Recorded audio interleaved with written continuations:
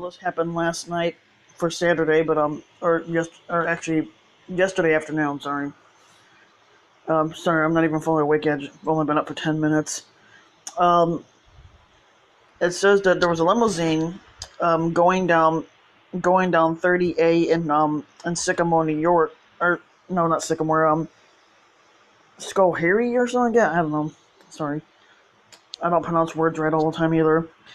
But it's in New York, and it says 20 people died in Saturday's crash of a limousine, and um, it says state police and confirmed late Sunday morning. The crash is the deadliest in the capital region since the October 2nd, 2005 sinking of the Ethan Allen tour boat on um, Lake George, and um, that killed 20 people also. Investigators from the National Transportation Safety Board are investigating what local officials are describing as a mass casualty incident after a limo speed, speeded down a hill and it crashed into bystanders at an Apple Barrel Country store, which was a t- big tourist attraction out there. It's it's it is not clear how many of the victims were in the vehicles that crashed at the intersection of Route 30, Route 30, and Route 30A, and how many people were bystanders. The Apple Barrel's parking lot was filled with people and parked cars at the time of this crash.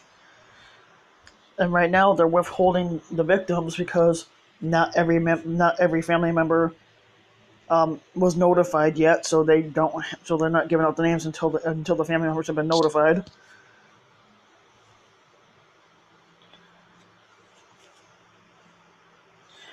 The names of the victims, like I said, are being withheld by while troopers try to track down the families of the victims. State police set up a special hotline for the families of people who fear a loved one has died in a crash. So they gave a number out for them to call. Witnesses at the scene said that several bodies could be seen on the ground outside the Apple Barrel.